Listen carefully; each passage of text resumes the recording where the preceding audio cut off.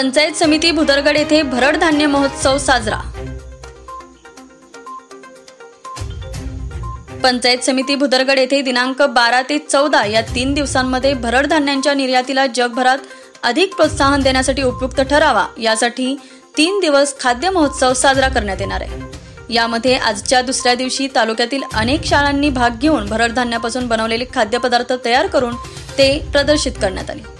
या महोत्सवास अनेक खवय्यांनी भेट देऊन पदार्थांवर ताव मारला आहे. यामध्ये रानभाज्यांपासून तयार केलेले अनेक पदार्थ प्रदर्शित केले होते. त्याचबरोबर नाचणीपासून तयार केलेले मोदक केक गुलाबजाम नाचणीची भाकरी बर्फी पोळी खीर असे अनेक प्रकारचे पदार्थ यात सहभागी केले होते.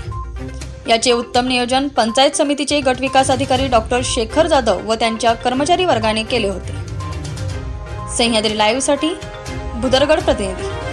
माझं नाव संगीता होते मी आज घरच्या घरी पोषक एक आहार अन्नदानाचे एक पोषक आहार बनवलेला आहे. त्यापासून नाचण्यापासून मी नाचण्याचं खीर बनवले आणि नाचण्याचं सूप नाचण्याचं आंबील नाचण्याचं बर्फी परत नाचण्याचं आंबोळी नाचण्याचं इडली नाचण्याचं तिखटमुळे असा मी प्रोटीन एक आहार केला. त्यापासून मला सुद्धा बळकट होऊ शकतात आणि परत वरीचं मी उपवासासाठी वरीचं मी अं, कोंडा केले ते वरीचं त्यामुळे प्रोटीन ई विटॅमिन ई या पदार्थ असल्यामुळे पोरांना मला पोर पचायला हलकं पडतं. आता आपण तृणधान्याचं बेसिक तृणधान्याच्या पाच धान्य वापरून भाकरी केलेल्या कॅल्शियम लोह प्रतिकारक क्षमता बुद्धीसाठी चांगली. त्याशिवाय हाडांना मजबूती मिळण्यासाठी याचा उपयोग करतो. गोष्ट नाच त्याच्यात मी कमी इंधन तेलाचा न वापर करता कमी इंधन आणि तेलाचा न वापर करता साजूक तुपाचा वापर केलेला आहे. साजूक तूप शरीरासाठी खूप उपयुक्त असते पोषक पोषणासाठी किंवा पचनासाठी सुद्धा चांगलं असतं. तर त्यासाठी मी हे गोड ह्याच्यापासून मी बालुशा बनवल्यात. लाडू बनवले लाडू बनवले बर्फी बनवले. परत नाचणीमुळे काय होतं कॅल्शियमचं प्रमाण वाढते शुगरची पातळी नियंत्रणात राहते. हाडं मजबूतीसाठी एक नंबर आहे. ही बाजरीची भाकरी आहे. त्याच्यात बाजरीच्या भाकरीमध्ये आपण पालक पोषक पोषक तत्वच मिळण्यासाठी आम्ही पालकचा वापर केलेला आहे. ही बाजरीची भाकरी ही नाचणी याच्यामध्ये कॅल्शियम असते. कॅल्शियमचं भरपूर प्रमाणात असते.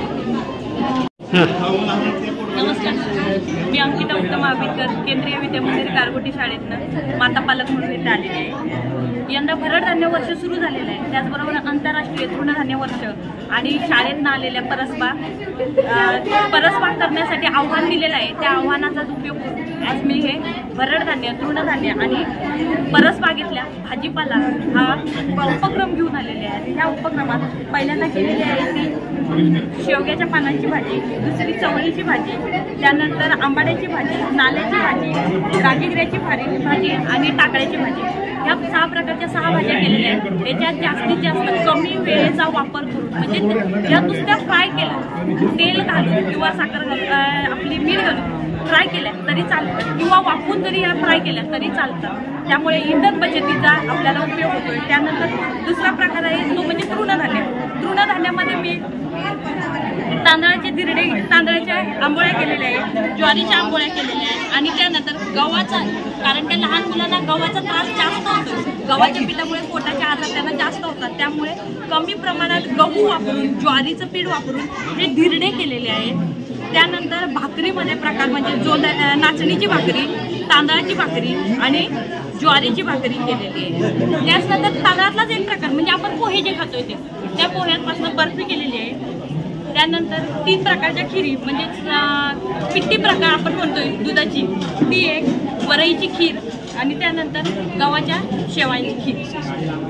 त्यानंतर नाचणीचे मोदक केलेले आहे त्याच्यात गुळ वापरलेला आहे पण बर्फीत मात्र वापरलेलं नाही. ताज्या बातम्या पाहण्यासाठी सह्याद्री लाईव्ह चॅनेलला सबस्क्राईब करा आणि बेल आयकॉन प्रेस करायला विसरू नका. धन्यवाद.